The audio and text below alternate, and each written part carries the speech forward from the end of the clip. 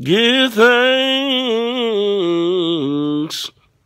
with a grateful heart.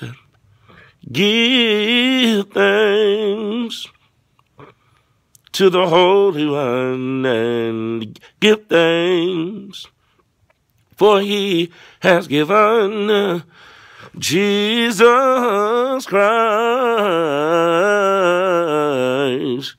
his son. Oh, and now let the weak say, I am strong.